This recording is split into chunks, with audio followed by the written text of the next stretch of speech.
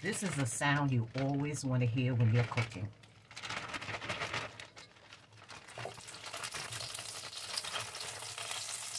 The sizzle.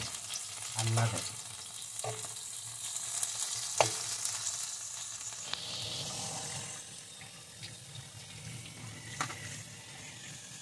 Remember, you cook the outer leaves first because they take longer to cook than the inside of the cabbage.